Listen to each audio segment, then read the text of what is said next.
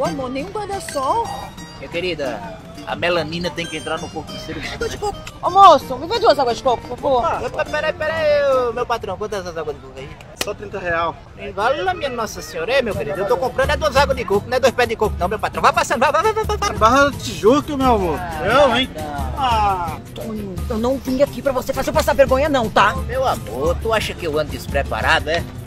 Ó, essa água aqui hidrata do mesmo jeito que aquela água de coco ali. Beba, vai, meu amor, beba.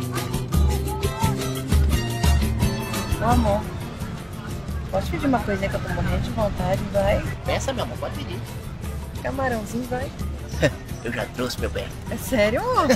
Ó, não é bem o camarão não, mas é da mesma família. Uma sardinhazinha com uma... É só amor, não vem pra praia pra ficar comendo as coisas de sempre, não, amor. Venho pra praia pra experimentar coisa nova. Meu bem, mas quem vem pra praia provar coisa nova é rico. Pobre, ele vem pra praia pra banhar de mar. E dá sorte quando não tá chovendo. Esse? Oxi. Mas nem um drinkzinho, vai? Meu amor, eu já te disse que eu não brinco em serviço, minha querida. Ó, frutos vermelhos, vai? Não é possível. Isso aqui com gelinho, meu amor. Só É.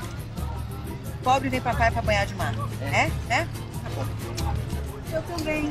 Eu vim pra praia só pra me banhar.